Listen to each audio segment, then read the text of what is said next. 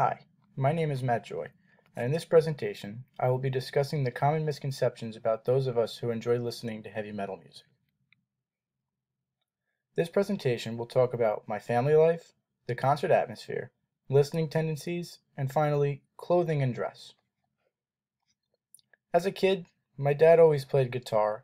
He began when he was 16 years old, and it's one of the one of his favorite hobbies. It was a common occurrence when he would just go in the basement at night, and I would just follow him as a little kid and just watch. I never knew what songs he was playing. I just knew he sounded cool, he looked cool, and it was something I wanted to do just to be just like my dad. My parents went to high school in the late 80s and the early 90s, so the music of their time was, of course, rock and metal. My mom was a fan of more girly things Guns N' Roses, Motley Crue, etc., hair metal, basically.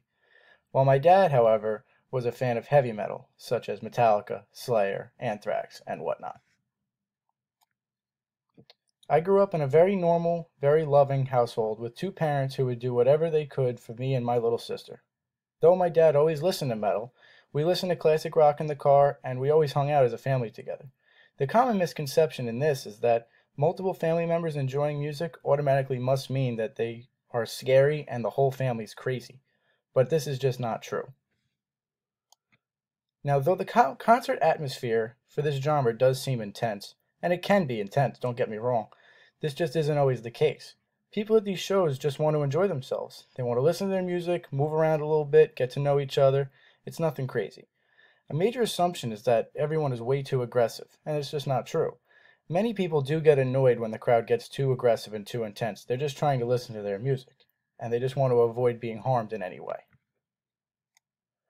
The culture of a show is very unique, though. As I have said before, everyone there just wants to have fun and enjoy the music. Though some people may have long hair and some crazy tattoos, not everybody does. Plenty of times I've seen people who look about my age with their dad or something like that, just enjoying the show. Also, bands don't try to incite violence like people do typically assume. The lead singer of the band Slayer, one of the most controversial bands of all time, is quoted as saying, Listen, you guys up front here, keep an eye out for each other, all right?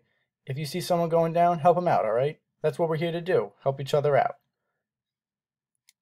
Now, crowds are not what most people would accept, expect. It's not always men, it's not always adults, and it's not always big people that are freaky and crazy into the music. In my experience, I've seen boyfriends and girlfriends, dads and sons, twin brothers, girlfriends, sisters. It's crazy. The diversity of these concerts truly is amazing.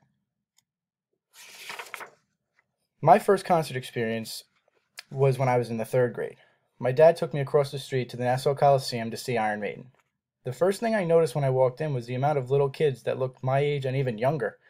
Even though the band was at, playing at a larger venue and it was not like the real setting of your typical metal show, it showed me the excitement of what a real metal show could be like.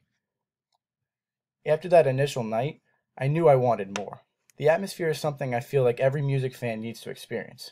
The people care about the music and the artists care about the fans. That being said, I've been to nine concerts in my life, and almost all have been in little playhouse style venues, and the feeling is just indescribable. I'd much rather go to a small venue than a large Nassau Coliseum type arena, just for the simple fact of how intimate and close to the band you really feel. Now, when I was in the seventh grade, I met drummer Chris Adler from heavy metal Lamb of God, a band not many people really have heard of, but they're one of my favorites. At an expo he held had on Long Island, he took questions, met fans, did autographs. It was really cool. As you can see, he does fit the stereotype with the long hair and the crazy tattoos and all that, but he was actually the nicest guy I ever met. And my dad even agreed with me. He was so down to earth and he was easy to have a conversation with, and he was happy to answer any questions from a young seventh grade kid like myself.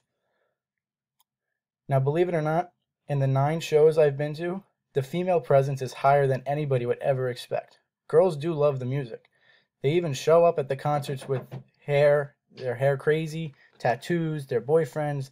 They just have a great time. I know this presentation is about metal music, but that doesn't mean I'm obsessed or or fixated on it at all. I'm actually a really big rap fan too.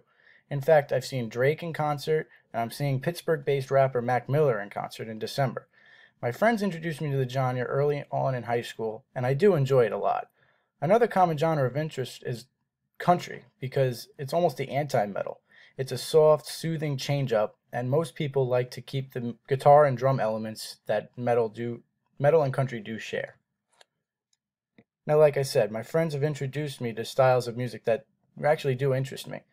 It was always like the odd man out when it came to playing music when we hung out, so once I got into the same types of music, my fluency in music overall just increased dramatically. And I even showed them a few things too. Now, as I previously stated, country is a change of pace alternative to the aggressive style of metal. And many people do enjoy a nice change for family time or when they're not with non metal fans. But the real go to in these situations is classic rock. Classic rock is where metal has its true origins when the bands like uh, Black Sabbath, Metallica, etc., paved the way for what is called aggressive or thrash metal. Now, people tend to assume that metal fans only wear concert shirts and jeans.